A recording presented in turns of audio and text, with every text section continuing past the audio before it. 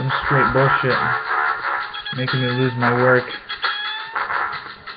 One more time. What causes quantum fluctuations?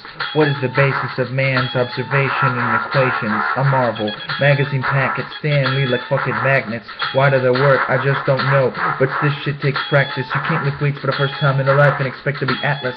Touring America with a GPS atlas while rapping slapstick over radio traffic into the passage with an action-packed plastic dream where I'm Red Smith, ephemeral from a green static. I who was docile, a savage savage with shades on a school bus with all my friends in Patrick, syncopating the eternal sound of the blackest. Cause the night is as black as Coca-Cola. The girl from Kansas was awesome, so what?